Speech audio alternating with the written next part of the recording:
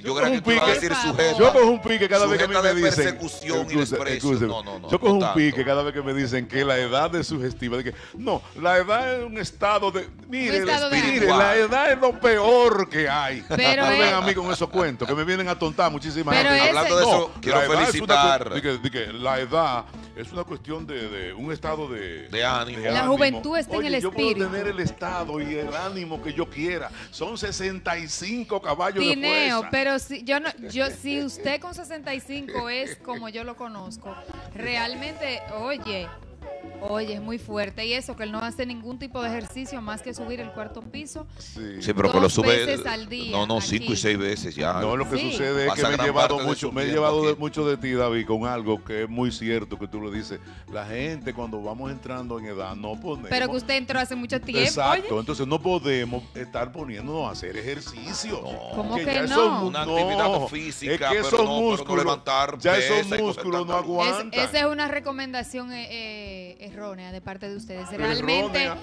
realmente Cuando los usted Usted verá cuando usted llegue a ejercicios, Cuando usted llegue allá. Usted verá cuando usted llegue, amiguita. los ejercicios nunca están de más, y siempre son importantes. Pero que yo no he dicho Y los ejercicios, yo he dicho la- el levantar peso. Ahora, bueno, hay que yo ver digo, porque hay digo que ver como si gente él que tiene... se meten a un gimnasio y comienzan y a caminar, qué sé yo, cuántas horas. No, no, no. a No, esta porque edad todo tiene su límite. Con 15, oye, con 10 minutos ya. Con Cuando- 10, no, usted debe, no, usted debe hacer por lo menos 40, una hora de cardio 40 de diario. cardio. ¿Usted diario. quiere que yo deje de venir al programa? Señores, Déjeme, cambia. déjeme- déjeme felicitar a nuestro amigo Adriano de la Rosa, Ey, que está de cumpleaños el día de hoy. felicidades, Adriano. Felicidades Adriano. Pero para no diga como Adriano. le dicen Adriano, ¿no? El santo. Pero qué barbaridad. Ese señor no hay que le diga nada.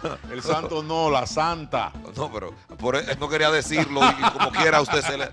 Adriano, te quiero y te, te amo y te quiero como, Como quiera. No importa que te digan santo, santa. Oh, santa. No Muchísimas Tú importa. eres santo de mi devoción ya. Sí mismo. Un beso. Muchas. Felicidades. Cumpleaños feliz Ahí ahí, está. súbelo. Adriano de la Rosa, un hijo querido del ensanche Bermúdez.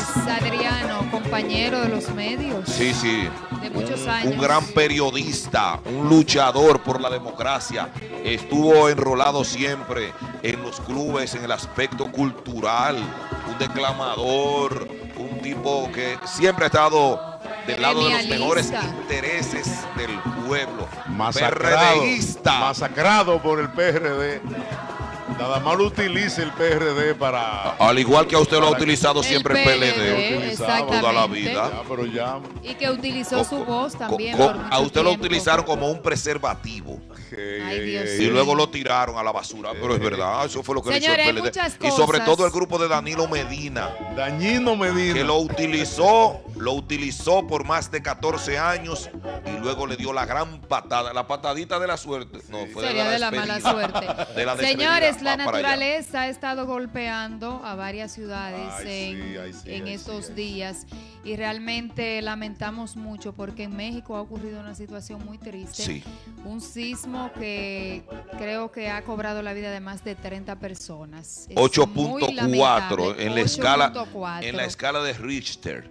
Se Atención. sintió en otros países. Se sintió Sí. en toda Centroamérica, porque fue en el sur de México, colindando con Guatemala, Honduras, El Salvador, En Panamá, Oaxaca. en Oaxaca, En Oaxaca. Checa- cerca de Chiapas, por Chiapas, por ahí. Hubo un movimiento telúrico de 8.4 y a las 10.45 de la mañana se habían registrado, Que esa según es- el, el- el sismológico de México, Miren ahí. 266 réplicas. Las imágenes La, son la muy más, impactantes. la de menor intensidad de esas 266 se pudo medir en 4.6. Mira Hubo eso. 13 réplicas de más de 6 grados. ¿Usted se imagina? 6 grados es otro. Otro terremoto, telúrico. otro terremoto grandísimo, Sí. 8.4. Y decirle. Óigame, eso es, eso es algo terrible. Compañeros, yo quiero decirle a, Sigan que pasando me las excusen imágenes. algunos comunicadores. No digan en la radio, en la televisión, temblor de tierra. Hubo un temblor de tierra, un movimiento telúrico que, te- que tembló Ahora la usted tierra. se en quiere meter a Ahí, profesor. ahí es cuando las capas freáticas Ahora usted se va a meter a comienzan profesor aquí en a liberar, programa. a liberar energía. Que Decía, decía nuestro amigo Frank, Es que se oye ¿verdad? feo, Areli. eh, una persona en radio, en televisión, que tembló la tierra en México. No. Sí, pero eso, es- eso es de conocimiento. Eso es para la gleba y su recta. Exacto. El populacho. Es que hay glebos e insurrectos en la comunicación. No, no, no. Mi- Miren, decirles que es en la escala de Richter. Porque Ay, había- sí, porque hubo uno que dijo, de, Sa- de, de Zafir Simpson. De Zafir ese es, Simpson. ese es la escala de los ciclones. La escala de los ciclones. La de Richter no está en los ciclones. Es de los Esa- movimientos de- telúricos. el- exacto. La de Richter es es para en- medir lo- lo- los terremotos. Exacto, los movimientos telúricos. Y la de Zafir. Zafir, exacto, esa es para los ciclones. Ciclones, Que huracanes. ese nombre de unos esposos. de una pareja de esposos. Ustedes están analizando esas cosas. Y decirle, hay- y decirle, disculpe, que cuando sucede un movimiento telúrico, son las capas freáticas que comienzan a desplazarse y a buscar su nivel y comienzan a liberar energía, según decía ese gran ingeniero Franco, un conocedor que era el, el encargado de la Escuela de Ingeniería Civil de la Pontificia Universidad Católica Madre y ¿Cómo que se Maestra, llama el movimiento Ah. de la Tierra? Que- O sea, cuando la Tierra está haciendo ese, el, liberando energía. liberando la energía. Esos son movimientos telúricos, Sí. y la- las capas freáticas. Exacto, ok. Cuando Nunca hablamos se de, me cuando olvida hablamos eso de de- del capas, maestro Franco. Cuando hablábamos, cuando nosotros hablamos de La Tierra está, capas, eh, está compuesta por que capas. cuando, usted sabe cuando, como hoy es viernes, que se puede farandulear un Hoy es viernes. Sí, Sí, se viernes. puede, Sí, se verdad. puede Llegó el farandulear un viernes. chin. Usted sabe cuando usted habla de capas freáticas, yo me recuerdo a Esteban Rosario. Me acuerdo de Esteban Rosario que dijo un día en el programa que lo que, traba- que lo que nosotros, el equipo, éramos un grupo de, de analfabetos. Y, y- Ah, y Esteban hombre. Rosario nunca en su vida había oído la palabra que ya nosotros la hemos sazonado y pasamos eso hace tiempo. No. Y él nunca había escuchado la palabra capas freáticas. A Y no le- se atreve a sentarse con nosotros, no, con nosotros tres. No, no, aquí, eh, Esteban a Rosario, hacer un programa. Esteban Rosario es un buen periodista hay que y un buen investigador. Hay que sacarle su comida. Ah, no, que haya desvirtuado el papel del periodista, la razón, la razón de ser Esteban Rosario es un buen de un elemento en la comunicación. Mira, mira, Son dos hermano, cosas. Hermano, Esteban Rosario es un buen periodista investigando cuando hay litis entre personas para saber con quién él se involucra para chantajearlo. Pero pa- hasta para eso hay que ser inteligente. Venga. Señores, hasta para hacer maldad desde el hay que ser inteligente. Desde- Genio del mal. desde el sismo en México caímos hasta la República Sí, Dominicana con Esteban Rosario. Eso, eso pasa a veces. Sí, porque es viernes, hay que es. farandulear el programa. Bueno, Van pues capas. eh, realmente los ánimos no están mucho para fa- faranduleo porque hay muchas cosas negativas. Sí, lo que pasa es que este es un programa variado y que nosotros le damos esa particularidad. Sabemos que tenemos muchas calamidades en el Caribe, que el Que el ciclón, que el no huracán. aumentó la gasolina. Usted No, debería, no, no, estar- no, no, usted debería- haber venido vestida de negro hoy. Por la gasolina. Sí. Realmente sí, Ese porque por ejemplo el yo gran no regalo. recibo yo no recibo gasolina de ninguna institución más esa del estado. no. suya que traga No tanto. reci- yo no recibo ese esos bonitos de Ese patro- patrocinio. Entonces cuando yo voy y tengo que decir tres mil, dos Ay, mil, ay. a mí me duele en el alma que hay mucha gente que no le importa que la gasolina suba o baje como son los funcionarios porque ellos tienen su gasolina, su Bueno, combustible pues, cubierto debió- y el de sus familias y amistades. Y vehículos, venir de vehículos, negro. vehículos de alto cilindraje. Sí. Es de 6 y de 8. Usted debió venir de negro hoy. En- realmente sí, debía hacerle el Siete- dúo. Siete pesos le aumentaron a la Exacto, gasolina que usted. Van 14 en dos semanas, tranquilo. Dos semanas consecutivas, realmente, eh, pero este ha sido un golpe fuerte el de hoy.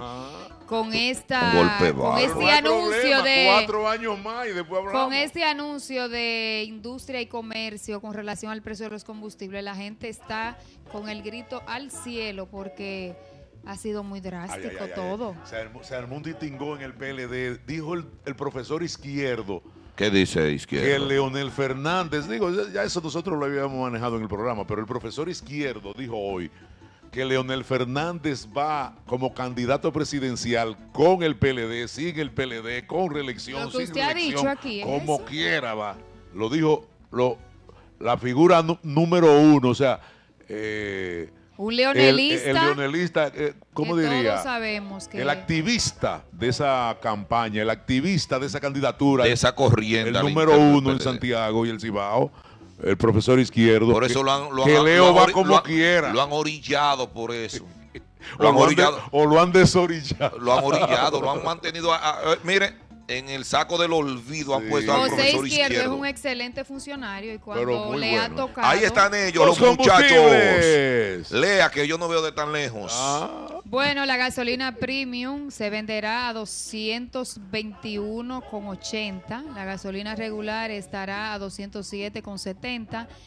El gasoil óptimo se venderá a 169,60. El regular, Ajá. 154. El Astur, 131,90. Oiga, lo- eso es para los aviones, ¿no? Ajá, sí. Ah, eh, entonces, El eh, eh, ese que, por ejemplo, el ministro de, de Obras Públicas, que, que tiene una flotilla de aviones, de, de cuestiones de esas. Miren cómo Qué es. barato. Mire su combustible. ¿Cuánto es? 131. Ah, ah, 131,90. lo que pasa es que ahí no hay gran consumo. Ahí no hay gran consumo. Y Entonces, lo- lo- los, dividendos. Dice que el querosene Ese es el gran 157,80, el fuloy 99,35, gas licuado de petróleo 108. 108. Ay, me 80. subieron el gas, Dios mío. El gas natural 108,80. Y el gas natural, que eso no lo consume nadie tampoco. 28. hay, 28. hay dos, bo- hay dos 98,97. bombas. Hay como dos bombas en el país de gas natural ya. Sí. Bueno, Bueno. pues Ay, Dios. eh, Roberto regalo, Tineo, regalo para la República de este gobiernazo Eh, de Danilo Medina. Celebrando, celebrando, Celebrando. que Irma no causó gran daño en la República entonces Dominicana. nos van a causar el daño ellos Sí. con el combustible. así mismo. Porque caramba. Así Aparte de, que, aparte de que hay una, una fiesta Siga ahí, no generalizada. proteste. Óigame, una fiesta Yo debo generalizada protestar en grande. entre los los que componen las asociaciones de supermercado, colmado y Oh, colmado. Están celebrando. Están celebrando, claro, por las grandes ventas Los que han tenido en esta última semana. Ellos están celebrando. Usted- Y aparte de eso, nos subieron 7 pesos a la gasolina de parte del gobierno. Ay, es para que este pueblo se vaya por la borda. Dicen- Porque eso no le hace nada a los funcionarios. Porque Muchachos. ellos ni compran gasolina, ni compran nada de eso. Todo ellos Solo tienen queman. subsidio para todo. Tienen ticket para esto, ticket para aquello, ticket para allí, ticket para aquí, para el supermercado. usted sabe quién no tiene ticket para nada. María de los Santos. Y María está ready para prensa. Vamos a prensa con María de los Santos. Regresamos en breve.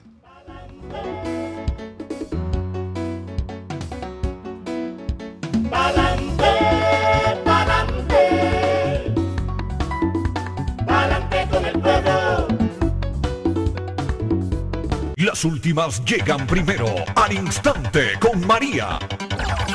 internacional en México, un sismo de 8.4 grados en la escala de Richter sacudió el sur de México a las 11:49 de la noche del jueves, hora local dejando al menos 35 muertos.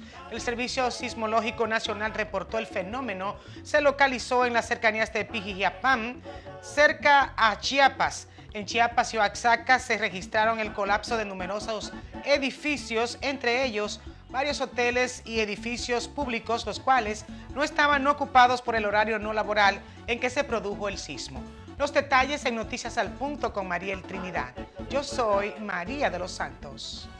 En breve regresamos con nuestro.